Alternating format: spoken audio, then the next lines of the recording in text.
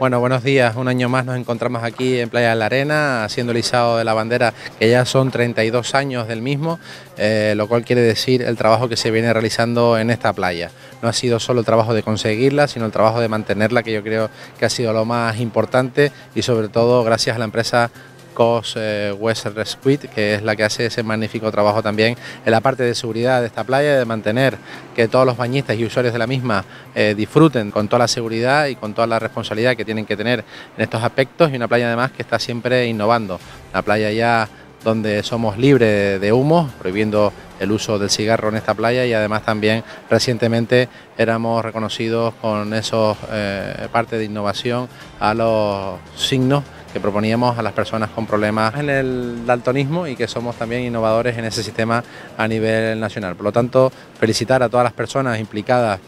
en este trabajo y que hoy somos un referente en España en el trabajo eh, de esta playa. Por lo tanto, desearles a todos que sigan disfrutando ya por otros 32 años más. Bueno, es un día especial para todos nosotros, un año más, tenemos la bandera azul ondeando en nuestras playas,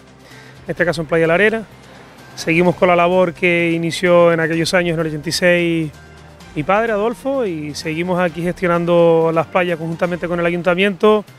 eh, exigiendo calidad para estar dentro de los parámetros de bandera azul. Hoy estamos, por supuesto, celebrando un día muy especial. Siempre, cada año, por estas fechas, izamos la bandera azul aquí en Playa de la Arena. Un galardón que nos da esa calidad de destino, puesto que es un reflejo de la, buena labor que se está haciendo, tanto por parte del Ayuntamiento de Santiago del Teide como de la empresa Adolfo West Rescue. Y bueno, y estamos hoy precisamente celebrando esa calidad del agua, esa calidad de la arena, esa calidad de los servicios de socorrismo, pero también todos los servicios que se prestan en esta playa de la arena, que ya cuenta con 32 años consecutivos de obtención de este galardón. Por supuesto, no hay que, eh, por supuesto, escatimar nunca en el cuidado de nuestras playas y creo que Santiago del Teide está haciendo una apuesta directa y de ahí que repercuta directamente en la calidad del destino turístico.